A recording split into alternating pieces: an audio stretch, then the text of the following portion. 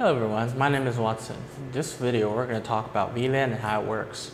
VLAN stands for the Virtual Local Area Network. So LAN, LANs is usually known as the Local Area Network. It is how we use our switches or other devices to create a local network for us to use, for us to access the internet to, with. And a virtual one is how we create a virtual network without any kind of hardware, any kind of device to do it.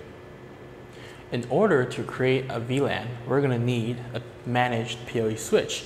And a managed PoE switch is commonly seen in small or medium-sized businesses, even large-sized businesses, when there are a lot of users connected to the internet.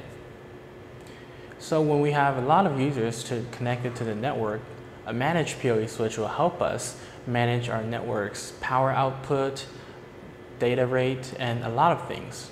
It can also help us divide the network and power the way we want. One of the many features in a managed PoE switch is VLAN.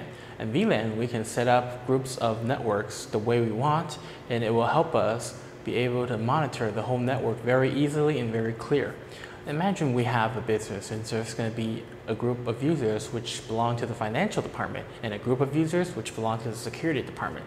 Some belongs to the marketing department. So basically we would usually divide it into three networks. If we use like different devices, like different unmanaged switches, we can just plug the devices to that switch. Yes, that's workable. It is called creating a local area network as well.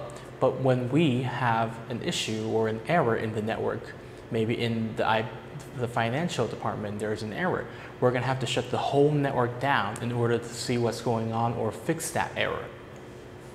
And usually an IP security camera system cannot, cannot suffer from going offline for a short moment.